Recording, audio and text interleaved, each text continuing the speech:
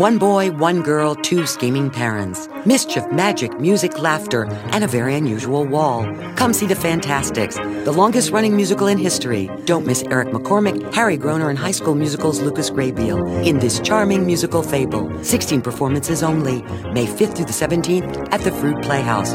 Join Reprise Theater Company and see the musical The Whole World Calls Fantastic. Call 310 825 2101 or visit reprise.org.